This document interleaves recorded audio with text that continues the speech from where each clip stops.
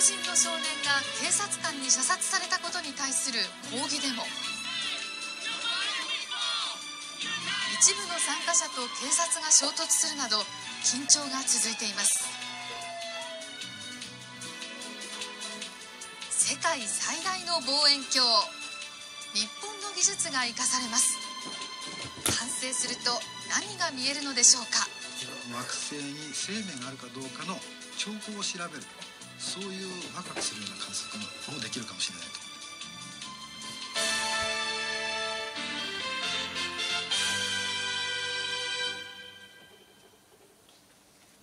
こんばんはニュースセブンです